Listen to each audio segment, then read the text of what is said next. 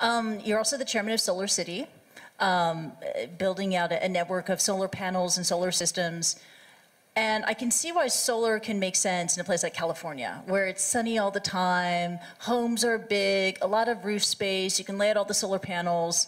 But in a place like Hong Kong, you know, densely packed, vertical cities, how can solar make sense here? Yeah, I think um, it's true that in dense cities, um, rooftop solar is, is not going to solve the, the energy uh, need. Um, but what you can do is have ground mount solar power, let's say uh, near Hong Kong, um, tapping into the existing power lines that, that, are, that are coming in.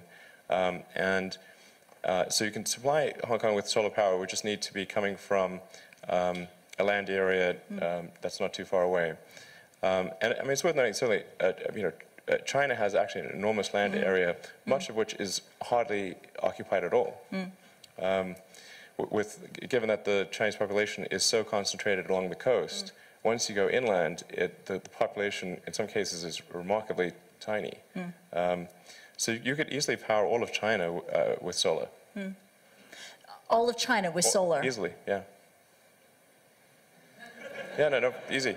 the world's most populous country. Yep, definitely. Wow. Yeah. Hmm.